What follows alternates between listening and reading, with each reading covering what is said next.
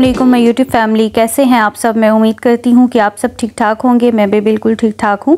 आज मैं फिर से हाज़िर हूँ अपने एक नए व्लॉग के साथ। तो आज का व्लॉग हमारा बहुत मज़ेदार सा होने वाला है, क्योंकि आज के व्लॉग में मैं आपके साथ ना कुछ मज़े मज़े की रेसिपीज़ शेयर करने जा रही हूँ। मेरा आज का व्लॉग स्पेशल मैंने अपने हस्बैंड के लिए बनाया था। तो आज के व्लॉग में ना मैं अपने हस्बैंड को एक सरप्राइज़ डिनर देने जा रही थी। तो मैंने सोचा कि चलो आज आपके साथ ना हस्बैंड के लिए जो मैं सरप्राइज़ डिनर में मज़े मज़े की रेसिपीज़ बनाऊँगी ना तो वो भी मैं आपके साथ शेयर कर देती हूँ। हम लोग अपनी लाइफ में इतने ज़्यादा बिज़ी रहते हैं हस्बैंड मेरे ज़्यादातर शॉप पे होते हैं और मैं जो है ना घर में अपने कामों में बिज़ी रहती हूँ। तो हम दोनों एक दूसरे को उस तरह से टाइम नहीं दे सकते।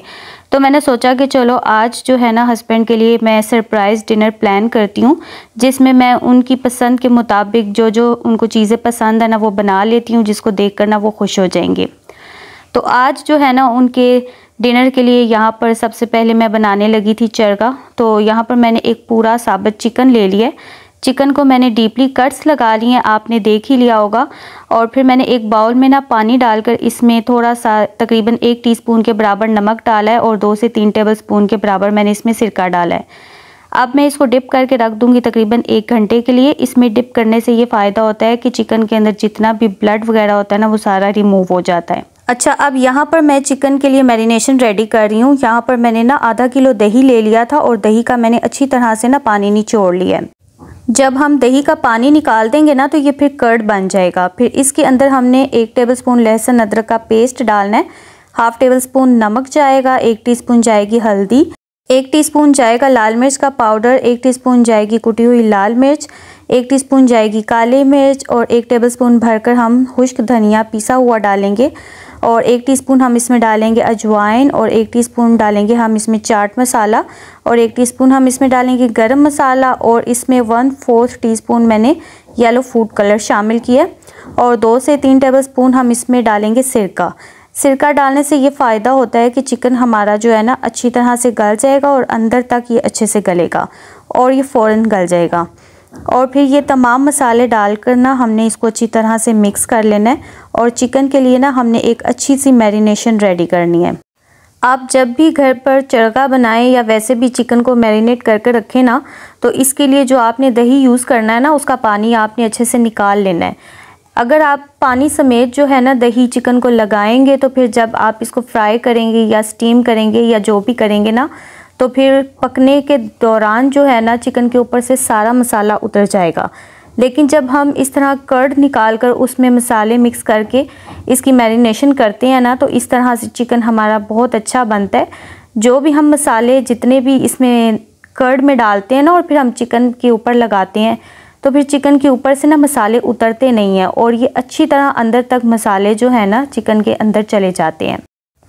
अच्छा ये जो रेसिपी मैं आपके साथ शेयर कर रही हूँ ना, ये रेसिपी मैं अपने पापा की आपके साथ शेयर कर रही हूँ। मेरे पापा बहुत अच्छी कुकिंग करते हैं और वो चिकन जब भी स्टीम करते हैं या फ्राई करते हैं ना, वो इसी तरह से कर्ड में सारे मसाले डालकर ना फिर चिकन को लगाते हैं। तो आप यकीन जाने, इतना मज़े का उनका चिकन बनता है ना, मैं कहती हूँ, इतना मज़े का तो हम खुद भी घर पर नहीं बना सकते। तो ये रेसिपी आप एक बार ज़रूर ट्राई कीजिएगा तो आपको भी ना, इंशाल्लाह ये बहुत पसंद आएगी। चलें जी, चिकन को मैरिनेट करने के बाद इसको हम दो से तीन घंटे का रेस्ट देंगे। अच्छा जी, अब यहाँ पर मैं मटन बिरयानी बनाने लगी थी तो पहले तो मैं आपके साथ इसकी रेसिपी शेयर कर लेती हूँ कि मैं कैसे बनाती हूँ मटन बिरयानी। अच्छा यहाँ बाउल में मैंने तकरीबन एक से डेढ़ कप दही होगा, वो इसमें डाल लिया एक पैकेट में इसमें डाल रही हूँ नेशनल का बिरयानी मसाला और नमक इसमें डालूँगी अपने हिसाब से। एक टी जाएगी हल्दी, एक टी जाएगी कुटी हुई लाल मिर्च, एक टेबल जाएगा साबुत सूखा धनिया। और हाफ़ टेबल स्पून मैं इसमें डालूँगी साबत ज़ीरा। और थोड़े से मैं इसमें डालूँगी खुश्क आलू बुखारे और दो अदद इसमें जाएँगे तेज़पात के पत्ते। अच्छा मैं जब भी घर पर बिरयानी बनाती हूँ ना तो मैं इसमें नेशनल का भी मसाला यूज़ करती हूँ। और इसके अलावा जो मैं घर के मसाले हैं ना, वो भी मैं इसमें लाजमी डालती हूँ। और आलू बुखारा जो है ना, डालने से इसका बिल्कुल खट्टा खट्टा सा ऐसा फ्लेवर आता है ना, जैसे हम देख की बिरयानी खाते हैं ना, बिल्कुल ऐसे। तो ये सारे मसाले डालकर ना हमने इसकी अच्छी तरह से मिक्सिंग कर लेनी है और फिर उसके बाद ना मैं मटन की बिरयानी बनाना स्टार्ट करूँगी। सबसे पहले हम देगची में अपने हिसाब से कुकिंग ऑयल डाल लेंगे और फिर मैंने ये दो से तीन अदद मीडियम साइज़ के प्याज ले लिए थे, वो मैं इसमें डालकर ना इनको हल्का हल्का सा ना गोल्डन ब्राउन सा कर लूँगी। जब प्याज अच्छी तरह से गोल्डन ब्राउन से हो जाएँगे ना तो फिर इसके अंदर टू टेबल स्पून के बराबर मैं लहसुन और अदरक का पेस्ट शामिल करूँगी और फिर मैं इसकी अच्छी तरह से ना भुनाई करूँगी। जब इसकी अच्छी तरह से भुनाई हो जाएगी ना तो फिर उसके बाद इसमें मैं थोड़ा सा पानी शामिल करूँगी। मुझसे अक्सर लोग पूछते हैं कि आप ही, आप इस स्टेज पर आकर इसमें पानी क्यों डालती हैं? मैं पानी इसलिए इसमें शामिल करती हूँ क्योंकि पानी डालने से ना प्याज फ़ौरन से नरम पड़ जाते हैं और इनको भूनने में आसानी रहती है और ये फिर अच्छी तरह से ना मैश हो जाते हैं, फिर इस तरह से हमारा मसाला भी ना अच्छी तरह से भुना जाता है। फिर इसके अंदर मैंने एक किलो के बराबर मटन शामिल किया है मटन को मैंने पहले अच्छी तरह से धो लिया था, फिर इसके अंदर मटन डालकर ना हमने इसकी अच्छी तरह से भुनाई करनी है। जब मटन का पानी सही तरह से ड्राई हो जाएगा ना तो फिर इसके अंदर हमने दो से तीन अदद बारीक कटे हुए टमाटर शामिल करने हैं। और फिर टमाटर डालकर ना हमने फिर इसको अच्छी तरह से ना भून लेना है। अच्छा आप जब भी मटन, बीफ या चिकन बनाएँ ना तो इसकी भुनाई करते हुए साथ साथ थोड़ा थोड़ा पानी शामिल करके इसको भुना करें। एक तो ये होता है कि गोश्त की जो स्मेल होती है ना, वो दूर हो जाती है और इस तरह से ना हमारा मसाला भी या गोश्त जो भी होता है ना, अच्छी तरह से भुना जाता है। अच्छा अब मैं इसमें दही शामिल कर रही हूँ, जो मैंने मसाला मिक्स करके रखा हुआ था। दही डालने के बाद इसको हम थोड़ा सा अच्छी तरह से मिक्स कर लेंगे। और अच्छा बाउल में जो थोड़ा बहुत मसाला बच गया था ना, फिर इसमें मैंने तकरीबन एक गिलास के बराबर पानी शामिल करके ना इसको अच्छी तरह से पानी में मिक्स कर लिया ताकि मसाले जो है ना वो वेस्ट ना हो और जो हमारे मटन में ना वो सारे चले जाएँ। फिर हमने इसको मिक्स करके ना तकरीबन एक घंटे के लिए दम पे कवर करके रख देना है ताकि मटन जो है ना हमारा अच्छी तरह से ना गल जाए। अच्छा दूसरी साइड पे ना, आज यहाँ पर मैं बनाने लगी थी बेक्ड पास्ता तो सबसे पहले हम पास्ता बॉईल करेंगे तो उसके लिए मैंने यहाँ पर पैन में पानी, नमक और कुकिंग ऑयल डालकर इसको रख दिया ताकि पानी को ना अच्छे से बॉयल आ जाए। अच्छा मेरी लास्ट वीडियो में किसी सब्सक्राइबर ने मुझसे कमेंट कर कर पूछा कि आप ही आपके हस्बैंड की किस चीज़ की शॉप है। तो आज मैं आपके साथ ना अपने हस्बैंड के बिज़नेस के बारे में शेयर करूँगी। मेरे हस्बैंड का सैनिटरी स्टोर है। इनके स्टोर पे ना हर किस्म की वैरायटी अवेलेबल होती है। मेरे सुसर और मेरे हस्बैंड एक ही शॉप पर बैठते हैं। इनका इकट्ठा बिज़नेस है और ये एक साथ ही ना एक शॉप पर बैठते हैं। अच्छा इनकी शॉप पर ना ये बाथरूम की जितनी भी वैरायटी होती है ना, ये जितनी भी वैनिटीज़ वगैरह, जितने भी कैबिनेट हो गए, शीशा वगैरह हो गया, इसके अलावा टूटियाँ शावर सेट वगैरह, यानी कि जितना भी घर के काम में हम लोग ये बाथरूम का जितना भी सामान होता है ना, वो मेरे हस्बैंड की शॉप से आपको मिल जाएगा। हर किस्म की वैरायटी है, इनके पास अच्छे से अच्छी भी है लो क्वालिटी में भी है, लेकिन हर चीज़ बहुत ज़बरदस्त है। हमारा जब घर बना था ना तो मैं इनसे कहती हूँ कि आपने तब इस किस्म की चीज़ें क्यों नहीं थी लगवाई? अब तो इतनी इतनी अच्छी वैरायटी आ चुकी है ना, कि देख कर दिल करता है कि हम अपने घर में ना दोबारा से ये चीज़ें जो है ना सारी लगवाएँ। अच्छा इसके अलावा इनकी शॉप पे ना ये कमोड सीट डब्ल्यू सीट्स और इसके अलावा ये जो भी बाथरूम की जितनी भी असेसरीज़ होती हैं ना, हर चीज़ इन्होंने इस तरह से ना सेट्स बना कर रखे हुए हैं। इतनी इतनी गज़ब की और हर किस्म की इनकी शॉप पर चीज़ें हैं, देख के ना बहुत मज़ा आता है। अच्छा इसके अलावा बाथरूम में जो टाइल वगैरह लगती है, फ़र्श पे भी लगती है और वॉल्स पे भी लगती है, हर किस्म की जो टाइल्स हैं ना, वो भी हमारी शॉप से मिल जाती हैं। टाइल्स में भी बहुत अच्छे अच्छे से डिज़ाइंस हैं, लेकिन ये जो वीडियो है ना, मेरे हस्बैंड ने खुद शूट कर कर मुझे फॉरवर्ड की थी। अगर मैं खुद जाती ना तो मैं आपको एक एक चीज़ जो है ना, उसकी वीडियो बनाकर भेजती। अच्छा इसके अलावा ना, इन्होंने किचन की भी हर किस्म की वैरायटी अपनी शॉप पर रखी हुई है, जिसमें सिंक वगैरह आ जाएँगे। किचन के जो हम सिंक होते हैं ना यूज़ करने के लिए, वो सिंक भी आपको अच्छी से अच्छी वैरायटी में और अच्छे से अच्छे खूबसूरत से डिज़ाइन आपको मिलेंगे। और इसके अलावा किचन की कैबिनेट्स के अंदर जो भी बास्केट वगैरह हम लोग लगवाते हैं, जिसमें मसाले वगैरह रखते हैं या बर्तन वगैरह रखते हैं ना, हर किस्म की ना बास्केट्स वगैरह भी मिल जाएँगी। और इसके अलावा जो हुड होते हैं, चूल्हे के ऊपर जो हुड लगते हैं, ये हुड भी मेरे हस्बैंड की शॉप से आपको मिल जाएँगे। बहुत ज़बरदस्त वैरायटी है। अगर आप पंजाब से हैं, जेहलम सिटी से हैं, पाकिस्तान में हैं तो फज़ल क्रीम एंड सन्स के नाम से मेरे हस्बैंड की शॉप है। हर किस्म की आपको एक ही जगह से वैरायटी मिल जाएगी किचन की भी बाथरूम की भी, इसके अलावा जो है टाइल्स वगैरह भी। अच्छा जब हम घर में किचन बनवाते हैं ना तो हम काउंटर पे चूल्हे वगैरह फ़िक्स करवाते हैं तो वो चूल्हे भी जो ना मेरे हस्बैंड की शॉप से मिल जाते हैं।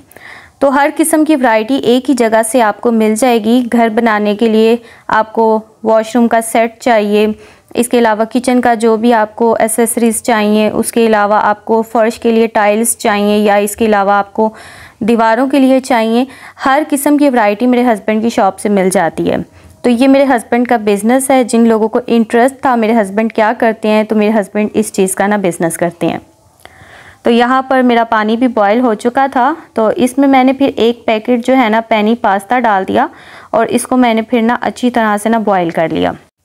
अच्छा मेरी एक फ्रेंड है, वो यूके में होती हैं तो उन्होंने भी रिसेंटली अपना एक चैनल बनाया है तो जनास लिटिल वर्ड्स के नाम से ना उनका चैनल है। मैंने अपने चैनल पर ना पोस्ट में भी उनका चैनल का लिंक शेयर किया था तो प्लीज़ आप उनके चैनल का विज़िट कीजिए। उनके चैनल पर बहुत ज़बरदस्त सी वीडियोज़ होती हैं तो उनको आपके सपोर्ट की ज़रूरत है तो प्लीज़ आप मेरी खातिर उनके चैनल का विज़िट कीजिए। उनको सपोर्ट कीजिए अगर आप उनको सपोर्ट करेंगे तो इस चीज़ का अल्लाह ताला आपको अजर देगा, अगर आप किसी की हेल्प करेंगे। तो प्लीज़ आप उनके चैनल का विज़िट कीजिए और उनकी वीडियोज़ को वॉच करें और उनके चैनल को सब्सक्राइब करें। अच्छा जब मेरा पास्ता बॉयल हो चुका था ना तो फिर यहाँ पर मैं इसके लिए ना वाइट सॉस रेडी करने लगी थी।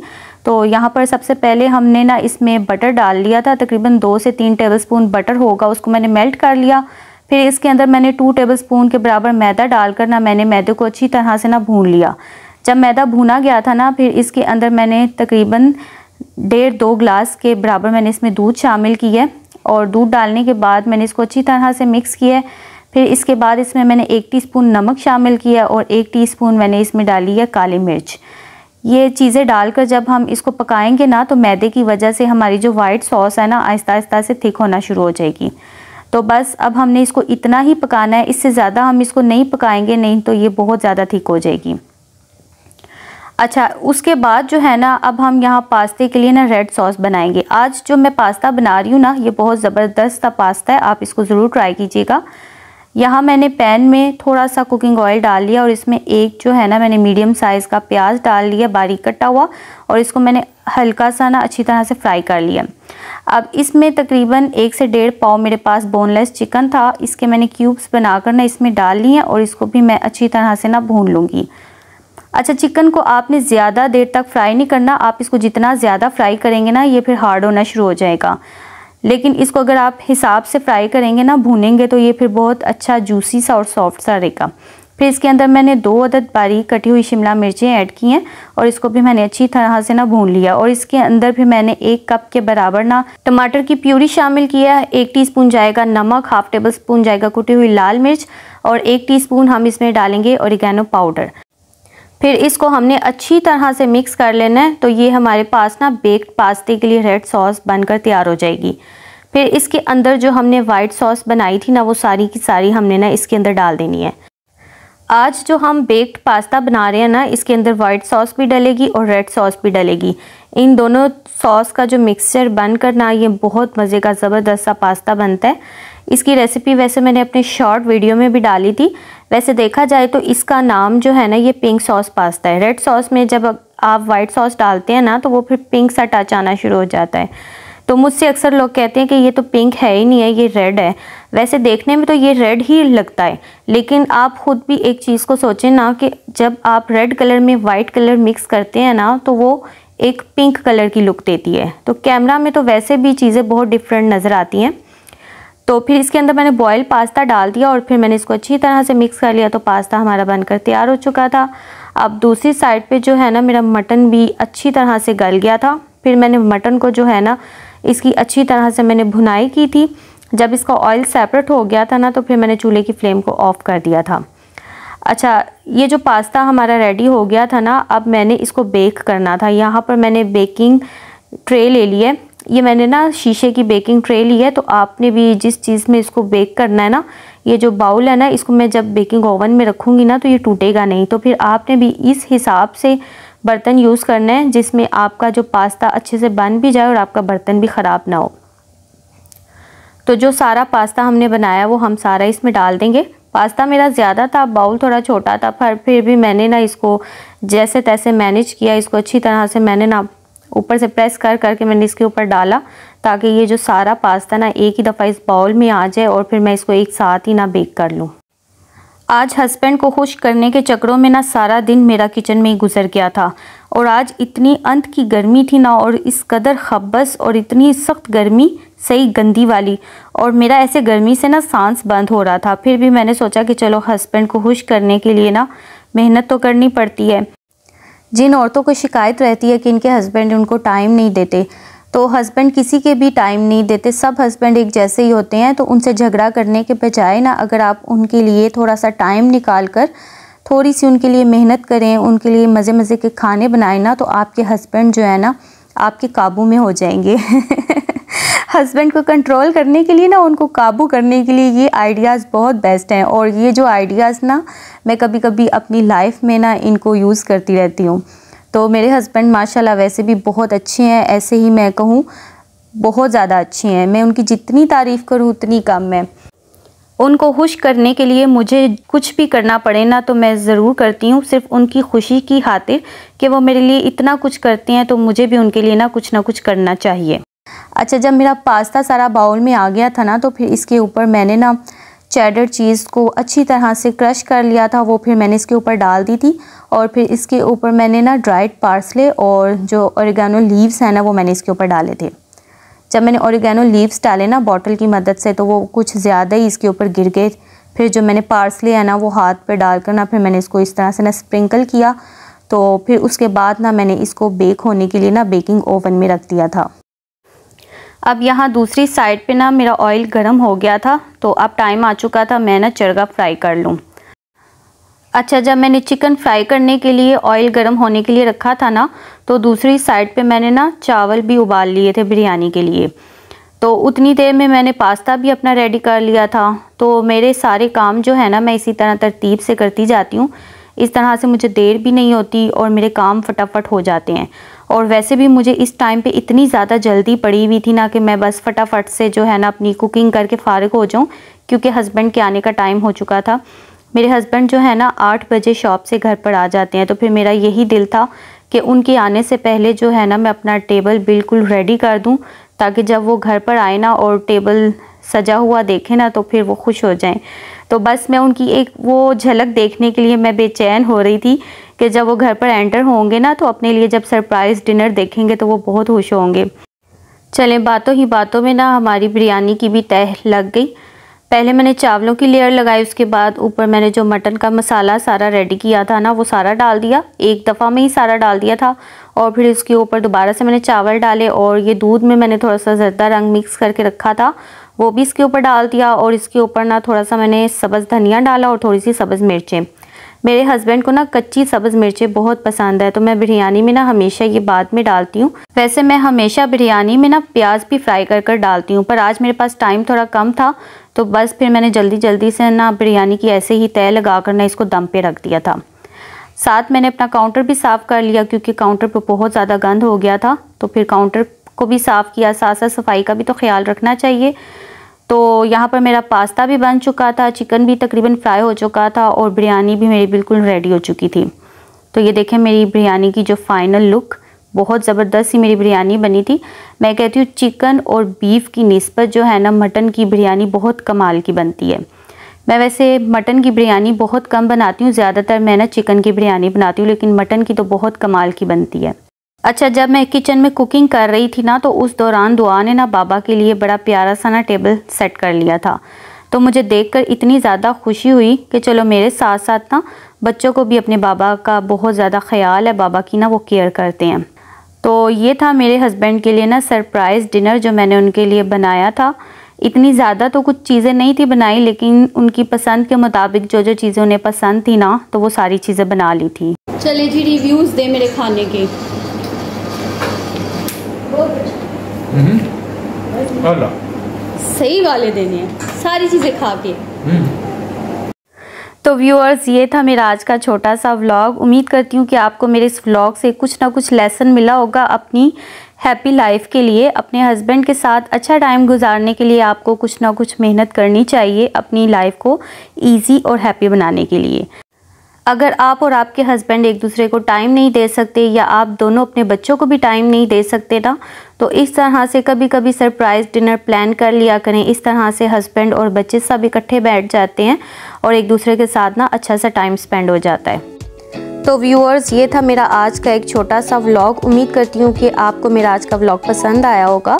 व्लॉग पसंद आए तो वीडियो को लाइक करें, शेयर करें, कमेंट बॉक्स में मुझे अपना फीडबैक ज़रूर दीजिएगा कि आपको मेरा आज का ब्लॉग कैसा लगा। अगर आप चैनल पर न्यू हैं तो चैनल को सब्सक्राइब कर लें। फिर से मिलेंगे अपने नेक्स्ट किसी अच्छे से ब्लॉग के साथ। अल्लाह हाफिज़।